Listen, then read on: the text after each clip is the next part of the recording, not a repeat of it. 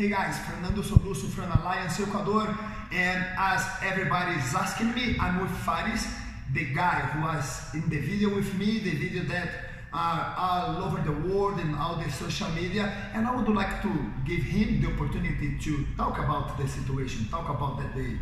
Hi, BJ community. Uh, my name is Faris Salazar, and uh, I'm not a teenager. I'm actually 25 years old.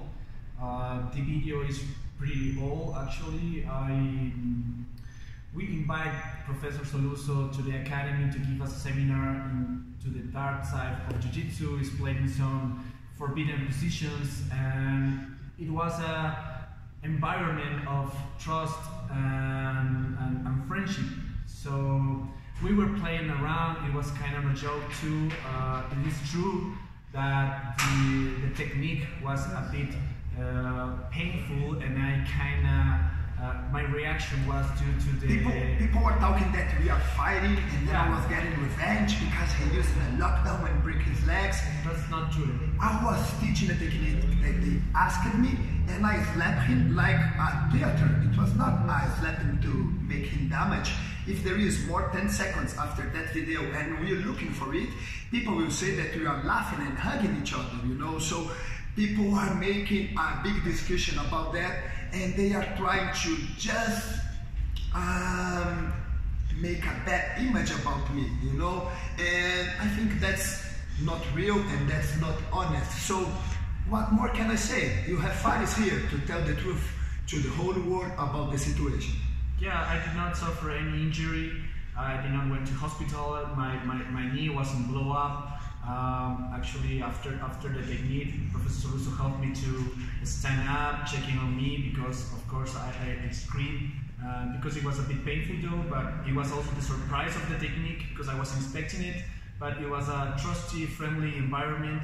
Um, all the the BJ pages should contrast the information before publishing I also, something like that. I also would like to apologize him, you know, because to show the technique, maybe I was unpolite with him, but I just feel able to show the technique with him doing that stretch and faking the slaps because he's my friend.